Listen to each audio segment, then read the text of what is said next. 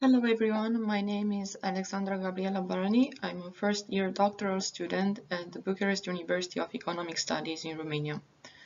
The paper I will present today is entitled The Impact of European Nihilism over the Contemporary Japanese Society. Just to present a little bit of my background, I'm currently teaching Japanese language at the Romanian American University in Bucharest, and I'm also working as a Japan travel expert at an agency in Romania. Last year, during a scholarship to the Ritsumeikan University in Osaka, Japan, I also worked as a research assistant with uh, Professor Dr. Olivia Kennedy. So uh, those are the reasons why I chose to speak about the contemporary Japanese society today. As an introduction of my research, we first uh, have to make the difference between the two perspectives over the nothingness as a concept.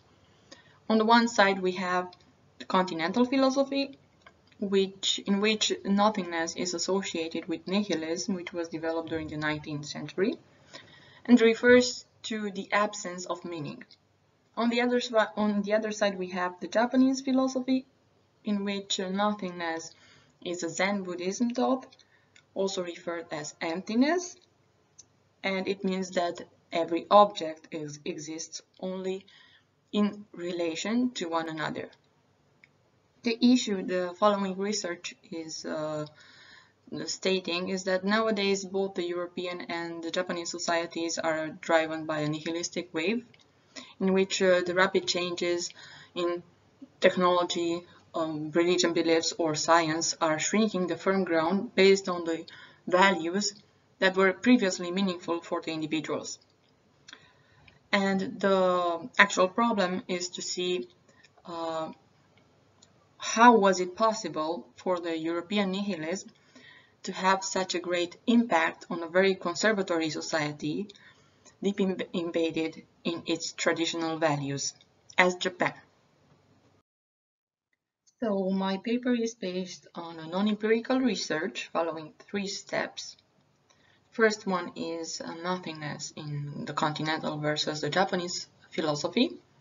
It's actually a comparative analysis between the main ideas of Friedrich Nietzsche and Keiji Nishitani to see how exactly was nihilism perceived uh, as a theory in, in Japan. The second one is um, the blind, the blind absorption of European nihilism in Japan based on a critical analysis over the dialogues between uh, Karl Löwith and Keiji Nishitani to see when exactly and how was uh, nihilism absorbed by uh, the Japanese society.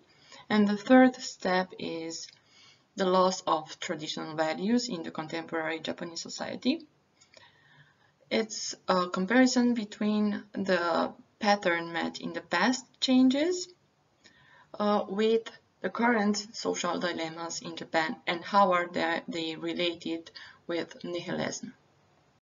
I started with two hypotheses. The first one is that the European nihilism was blindly absorbed because of the exposure to Western influence during the 20th century, and the pattern is repeating in the current era as well. The second one is that the present uh, social problems, such as growing trend of suicidal rate or reluctance to Western values in the recent years, are the result of the current nihilistic wave. So the first step of my research is nothingness in the continental versus the Japanese philosophy. We first have Nietzsche in the European context, where nihilism appeared at the stage where previous religious beliefs were denied by atheism. And so Nietzsche says that God is dead, God remains dead, and we have killed him. He doesn't say that a God didn't exist, but we ourselves denied his uh, meaning. So, uh, in a general sense, nihilism in Europe states that uh, it's a state where everything that was previously based on faith collapses and the person is left with no answers to the question why. Nietzsche suggests that uh, the solution here is to create a new ground from the point zero based on science and development.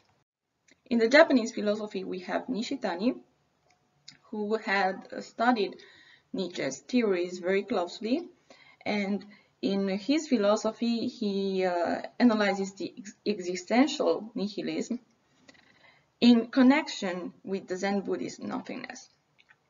He is suggesting that nihilism is something very natural, which every individual may encounter in his life when passing from the field of consciousness, of consciousness where he is uh, too concerned about the everyday life, to the field of nihility, where he is left with the great doubt, where at the, the same as Nietzsche, he, uh, he is saying that in this context he cannot find any answers to the, the question why. He is left with no meaning of life. But the next step in Nishitani's view is the field of emptiness, where even nothingness itself because becomes empty.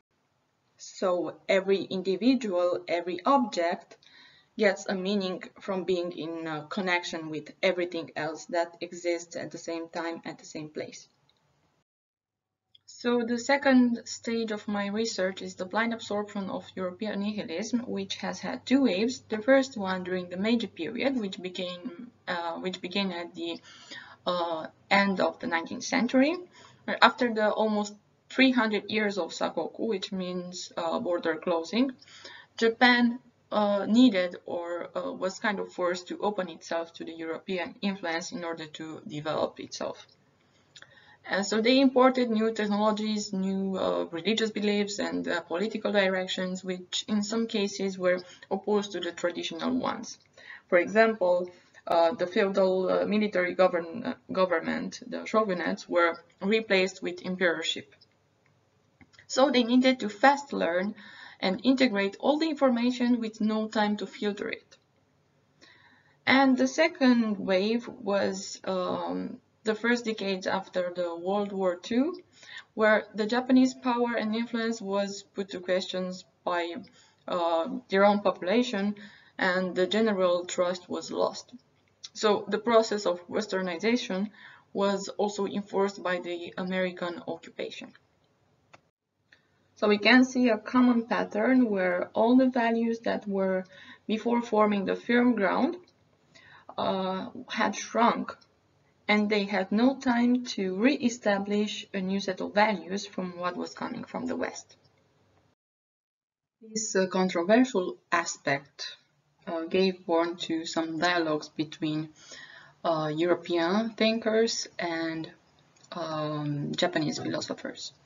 For example, Karl Löwith says that um, Japan came to know us only after it was too late, after we ourselves lost faith in our civilization, uh, and the best we had to offer was a self-critique, of which Japan took no notice.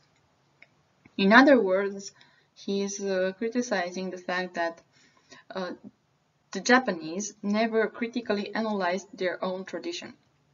He also states that the Japanese live in a two-story house without a ladder. The first le level where uh, they think in a Japanese traditional way, and the second level well, where all the European thoughts are aligned. So because they lack in this self-critique, they did not uh, managed to create a fusion between the two perspectives, the Japanese and the Western. In response, Nishitani says that the tradition must be rediscovered from the ultimate uh, point where it is grasped in advance as the end of our westernization and of the Western uh, civilization itself. So what he is stating is that they don't necessarily need to create a fusion between those two uh, ways of thinking, but actually rediscover their own tradition that uh, was lost during the exposure to Western influence. So this is the third stage of my uh, research, the hypothesis that there is a third wave of nihilism going on on the contemporary Japanese society. So I analyzed the suicidal rate uh, from the year 2000 to uh, 2018, which was decreasing in the last years, but it remains kind of high. It's nowadays 18% uh, to 100,000 population and also the birth rate which is decreasing uh, and the, um, the, extreme right-wing group attacks from the beginning of 21st century all those are signs that there is a third wave of uh, nihilism going on in the Japanese society which may be related to the fact that they uh, follow a path where work becomes uh, more important and they evaluate work more than family or um, values that were before meaningful for uh, the Japanese society. And so from a subconscious attempt to reestablish a firm ground based on the Japanese traditional values, there can be uh, observed a depreciation of ideas or values that are coming from the West in the last decades.